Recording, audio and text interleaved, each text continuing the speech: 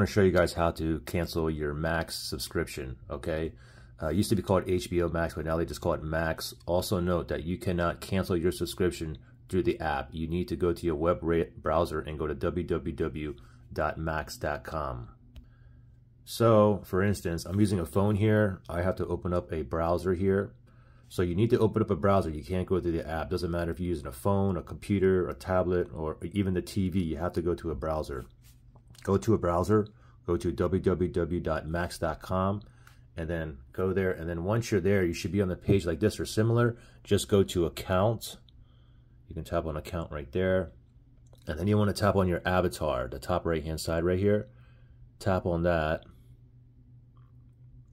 right there. And then here we want to go down to subscription. Okay, subscription is right there. Tap on that. Now go ahead and scroll down and you can see the plan that I'm on, the 15.99 one up there. And if you want to cancel, it's all the way in the bottom. Cancel your subscription, okay? Go ahead and tap on that right there. And then it says, before you go, can we help with anything else? Of course, they want you to stay.